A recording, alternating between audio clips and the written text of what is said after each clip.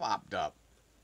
Now it's uh, doing. Hey, Brian Young, Pro Tinker Toys, Pro Tinker Toys. This is a Carnoni update. I call it the Crony update.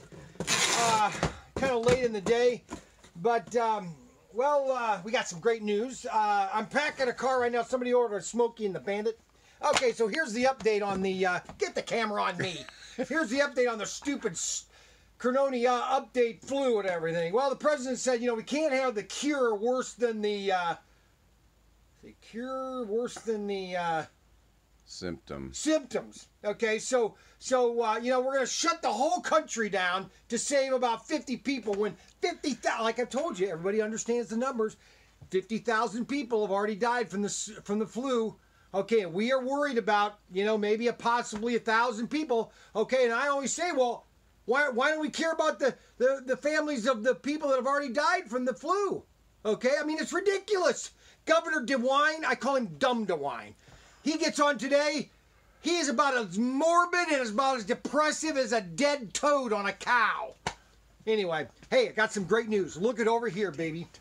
We finally got into my Scalextric product. We're going to be doing videos on all the product, but right now we got two sets American Police Chase and Stock Car Challenge. Great sets. We're going to be really promoting Scalextric now. Plus, we've got a whole slew of different cars. Okay? And these are sport cars. Now, real quick. So these sport cars. Okay, let me give you kind of a little Carnoni update. All right, so back in the oh 50 or 70s and 80s, you know, a lot of cars were basic, okay? Just fun racing cars. You know, they didn't really break a lot, but they were fun to race, okay? But then in this in the in 2000, you know, Fly took over with all their high detail, and so some people were afraid to race the things. These cars are fun to race. Okay, and we're gonna be doing videos on every one of these cars. But I wanted to let everybody know we got two sets. We've got about 10 cars, more cars to be coming at ProTinkerToys.com, ProTinkerToys.com. Don't forget to like and subscribe us on the video. And so, uh, uh, the Crony update, um, we're, uh, uh, we don't know what's going to happen. You know, the president uh, doesn't want to shut down the world, so we're getting everything packed here.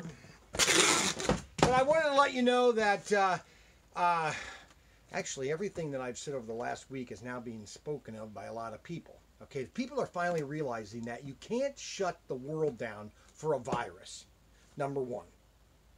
Okay, and now they're finally realizing that the swine flu killed almost 12,000 people in the U.S. 69 million people had the swine flu.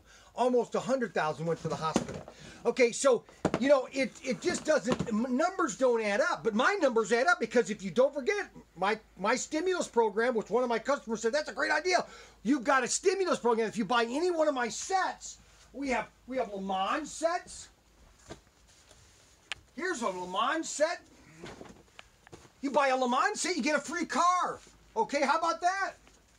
How about come here, camera, real quick.